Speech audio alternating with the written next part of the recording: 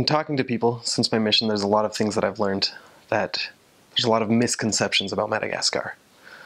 Um, so when I tell people, they're kind of shocked at how different Madagascar is from what they perceive it as. Um, one, Madagascar is not a small island. It's a very large island. It's twice the size of Arizona, or twice the size of Utah, a little bit bigger. Um, so it's yeah, it's a big island. There are people on the island, and there's a lot. Um, there's 20 over 20 million people on the island. So um,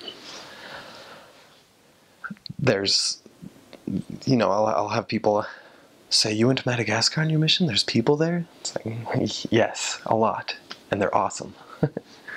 and it's um, let's see, Madagascar has a lot of tropical regions, but it's also half desert. So there is a lot of dry places in Madagascar. Um, there's a lot of cool wilderness places, and that's people, you know, they'll watch documentaries of the cartoons, and they see the wilderness, and there there's a lot of wilderness, and it's super pretty. There's the the spiny forests and spiny deserts, and there's the stone forests. I guess I call it the tsingy. Um, so there's a lot of really cool places, but there's also really, really big cities, uh, massive cities. Uh, Tana has, depending on how you look at it or how you measure it, there's between what, two and a half to seven and a half million people, and it's it's a busy, crowded, bustling city. Lots of people. Bump elbows a lot because there's so many people. Madagascar is the number one rice consumer per capita in the world. So, and I've I heard it and then I went and looked it up. So at least last time I looked up looked it up, number one rice consumer per capita. So they beat China and they beat India. um, eat a lot of rice there, a lot, three meals a day. Big pile of rice. Oh, another miscon- misconception. Misconception. There are no rhinos, elephants, lions, giraffes, hippos. They're they're only in some parts of Africa, and they're not in Madagascar. Uh, Madagascar has uh, obviously a lot of lemurs. As a missionary, you're probably not going to see a whole lot, and you're probably not going to see any in the wild. Um, you might in certain towns, but you're not going to. They're not, you know, everywhere bouncing in the trees, especially not in the cities. Um, I never saw any wild lemurs while I was on my mission. Um, there are a lot of parks around, just kind of like nature reserves, and they they feel wild, and you can go out there and see lemurs and even play with them.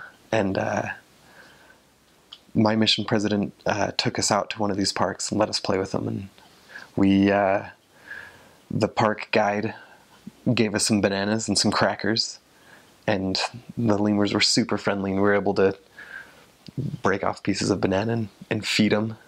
And uh, there's tricks. They're a little bit shy, but there's tricks to to get them to jump on your shoulder. And we'd, we'd lean up against a tree and hold a banana out here, and the lemur would jump on our heads or jump out to our arms and reach out and grab the banana. Um, so it's definitely they're lemurs are my favorite animal. They're so adorable. They're they're so nice. Um, so lemurs are fun. I was only able to do that, you know, not very often because of time constraints, but maybe two or three times on the mission, we were able to go play with lemurs on a P day or something. Um, Madagascar is known for its uh, chameleons, and there's tons of chameleons, and those you'll find in the cities even and uh, you'll you'll see them everywhere. And at first, it's funny. At first, they're kind of shy and timid around you, and they'll try and avoid you. But after they kind of get used to you, you can hold them and play with them, and as long as you watch for the the signs, the warning signs. If they puff up puff up their neck, if you watch for those signs, you'll know when they're going to bite you, and you know not to stick your hand in in their face, because missionaries have been bitten a lot. So I never got bit.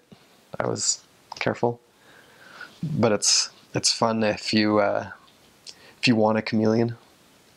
Uh, if you want to see a chameleon, you can find little kids and hire them to go out and find chameleons for you. One time, uh,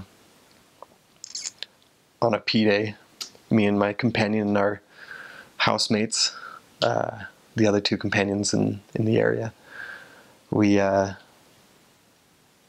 went out and said, We'll give you a hundred ariary, which is five cents, per chameleon that you found. And we said it to a group of kids.